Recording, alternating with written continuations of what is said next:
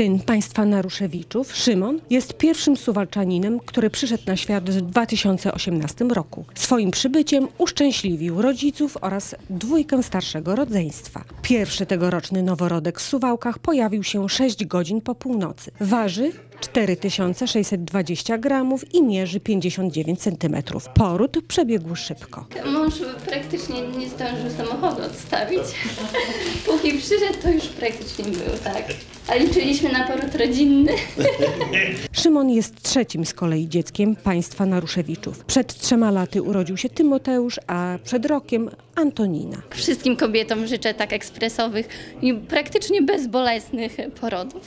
Imię najmłodszemu braciszkowi wybrał pierworodny syn państwa Naruszewiczów. Bo mieliśmy dwa imiona do wyboru, było między Piotr a Szymon.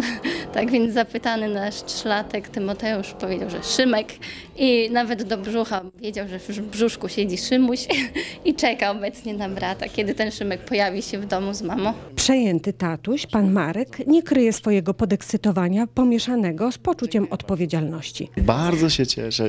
Teraz mam wielki stres, ale bardzo się cieszę. E, Fajnie mieć trzecie dziecko. Nigdy nie spodziewałem się, że będziemy mieli trójkę dzieci. W ogóle nie spodziewałem się, że będę miał rodzinę, ale jest.